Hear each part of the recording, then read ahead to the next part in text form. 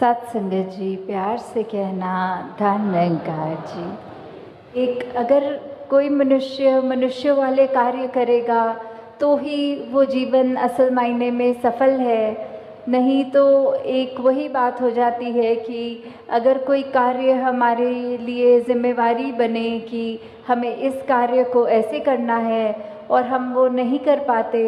तो बात वही होती है, वो एक फेली, फेल की बात होती है कि हम ये काम असमर्थ रहे करने में। हमारा एक फेलियर का टैग साथ लग गया उस कार्य के साथ।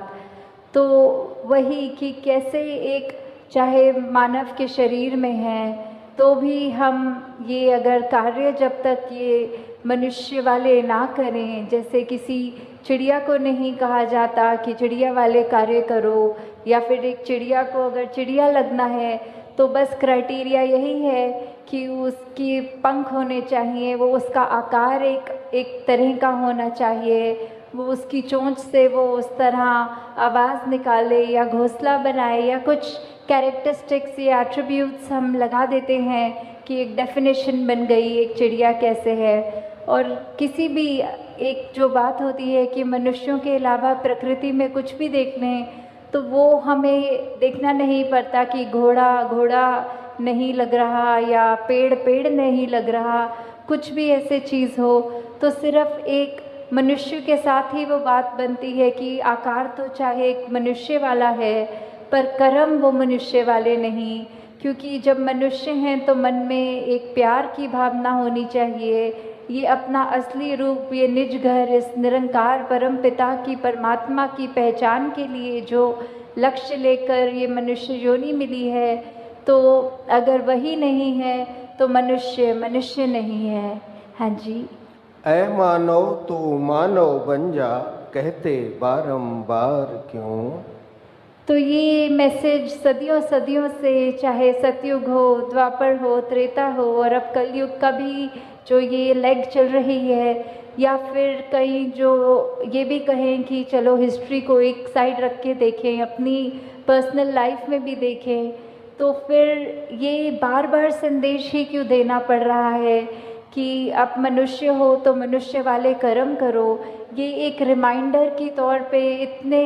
बार बार क्यों करा जा रहा है? जैसे एक हमारा अलार्म क्लॉक होता है, हमें उठना होता है तो वो हम जानते हैं कि हमने उठना है। फिर भी क्यों ये ऐसा कि अलार्म बजता है और हम उसको वापस वो पाँच मिनट के डिले पे डाल देते हैं और फिर सो जाते हैं। फिर वो स्नस करता है और हम फिर से उसको और डिले पे डाल देते हैं। तो ये जागने की अवस्था, ये मनुष्य को मनुष्य बनने का संदेश तो वलियों, पीर पैगम्बरों ने, सदगुरुओं ने बहुत समय से ही देते चलते आ रहे हैं। पर हम ही उस रूप में सोते जा रहे हैं और कान में वो आवाज़ पड़ने के बावजूद भी नहीं उठते। तो आज ये क्या हमारा उस तरह एक जीवन का उद्देश्य है? अगर हमको फुल पोटेंशियल में उसको जीना है तो बात वही है कि जो एक हमसे एक मानव की तरह एक्सपेक्टेशन है, हमें वो एक्सपेक्टेशन को कैसे पूरे करना है? और ना कि बस सिर्फ़ पूरा करना है, उसको अपनी ज़िंदगी को किस तरह खूबसूरत बनाया जाए कि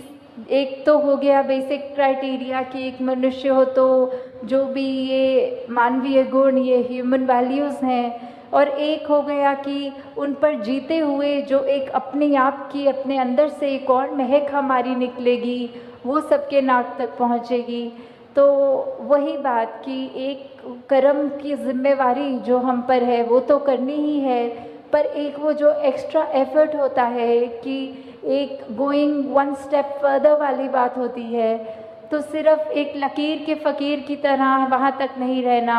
अपने आप से और भी जितना बन पड़े जितना और हम कंट्रीब्यूट किसी महीने में भी कर पाएँ कि अपनी ज़िंदगी में, किसी और की ज़िंदगी में वो खुशबू, वो असर ज़रूर छोड़ें। हाँ जी। अपना अपना धर्म निभाते पशु परिंदे सारे हैं। तो वही बात कि जिसकी जो एक लाइफ स्टाइल है जो एक कार्य करने के लिए परमात्मा ने अपनी प्रकृति में जो भी चीज़ डाली हो कि चाहे जानवर हों चाहे पंछी हों चाहे कोई भी ये कायनात की ये कुदरत की चीज़ ले ले पानी का स्वभाव ले ले नीचे को बहना या फिर सर्दी में जमना या कुछ भी चीज़ हो, पेड़ों का देखें कि बारिशों में हरियाली और पतझड़ में झड़ना तो ये सब का जो अपना एक नेचर कह सकते हैं, एक ये नियम में बंधे हुए, ये निरंकार की आज्ञा में रहते हुए जो जो कार्य थे उनके गुणों में, वो सब तो वैसे ही सब कुछ करते जा रहे हैं। पर वही बात, ये सारी इंडिकेशन ये सारे एग्जाम्पल्स इस शब्द में बार बार उसी की लाइन को स्ट्रेस करने के लिए आ रहे हैं कि ये कंपैरेटिव एक कंपैरिजन करने के लिए कि एक तरफ़ जहाँ मनुष्य जो सबसे ऊँची योनि माना गया है और उसके कंपैरिजन में जो बाकी योनियाँ हैं तो भी इस मायने में तो वो सब ज़्यादा श्रेष्ठ हो गई कि वो सारा अपना कार्य जैसा करना है, वैसा ही कर रहे हैं। और हम इस योनि में जो आए हैं, ये अवसर लेके कि ये निरंकार की पहचान कर सकें तो हम उसको असमर्थ कहीं ना कहीं हो जाते हैं। सिर्फ़ ये बात वो नहीं है कि ज्ञान लेने तक की जर्नी नहीं है ये। ये वो भी लिया जाए कि हम अगर ज्ञान ले चुके हैं तो भी क्या हम बन गए सही मायने में मनुष्य? या अभी भी हमारे जीवन में वही अंधकार है, वही अहंकार है, वही लालच है, या कोई भी ऐसी बुरी बात हो तो उसी पे हमको अपने आप पे काम करना है कि सारे रास्ते तो हमारे सामने हैं और सही गलत की हमारे पास ये बुद्धि भी है, ये चेतनता भी है तो हमने क्या अपनी ज़िंदगी में कंकर उठाने हैं, कांटे उठाने हैं, या अच्छे गुणों, फूल समान जो बात है वो लेना है? हाँ जी। अपने ही नियम पर चलते सूरज चंदा तारे हैं तो ये जो सूरज, चाँद, सितारे सेलेस्टियल बॉडीज़ या कोई भी धरती के ऊपर भी जो भी चीज़ है है, वो सबका एक वही बात जो नियम बना हुआ है, जिस तरह एक फंक्शनैलिटी रखी है, एक लाइफ स्पैन अगर किसी एक भी चीज़ का है for that matter of fact कि अगर हम एक बाज़ार से कुछ खाने की पदार्थ भी लेते हैं तो उस पर भी वो एक कुकिंग के लिए उसकी रेसिपी होगी, एक उसकी डेट ऑफ़ मैन्युफैक्चरिंग और एक एक्सपायरी डेट भी होगी। तो ये जो लाइफ स्पैन में उसको इस्तेमाल कैसे करना है, हमें खाना है उसको तो उसको बनाना कैसा है? एक उन्होंने वो भी लिखा होता है कि इसको फ्रिज में रखना है या फ्रिज में नहीं रखना। तो ऐसी चीज़ों में भी अगर हम देखें तो हर चीज़ में ये जो भी इन परमात्मा की बनाई चीज़ है तो उस पर भी और जो मैनमेड थिंग्स भी कह लें, चाहे उनमें भी ये जो नियम है, ये गुण है, ये जो कायदा है कि किस तरह एक फंक्शनल एक चीज़ को करना है ताकि उस चीज़ से लाभ हो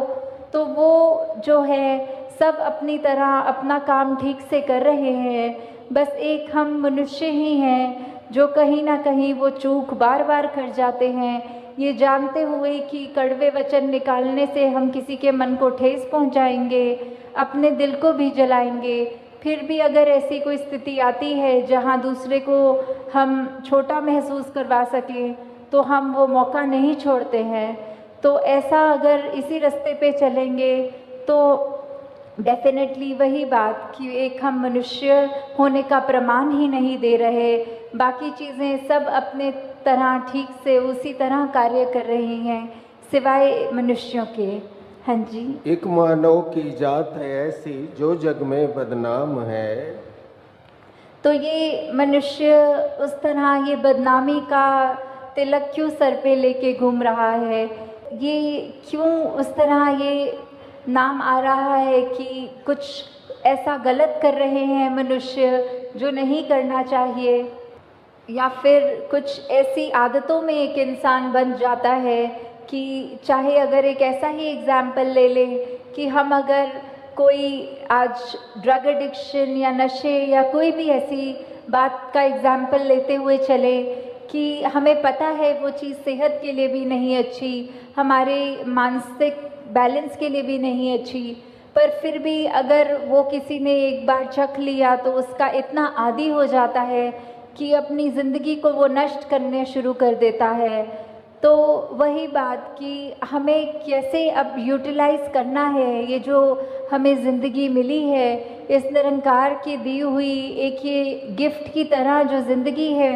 हम उससे क्या कर रहे हैं? हम मनुष्यों वाले कार्य कर रहे हैं या अपने पतन की ओर अपने आप को ले जाते चले आ रहे हैं, कुछ बोलना ना पड़े, हमारे कर्म बोलें और वो कर्म देखकर सभी ये बोलें कि ये मनुष्य इतना अच्छा है हमको भी ऐसा ही मनुष्य बनना है। तो बात वही, अब मनुष्य तन मिला ही है तो असली रूप में मनुष्य वाली ज़िंदगी को भी बिताएँ। सात संगत जी, प्यार से कहना धन जी।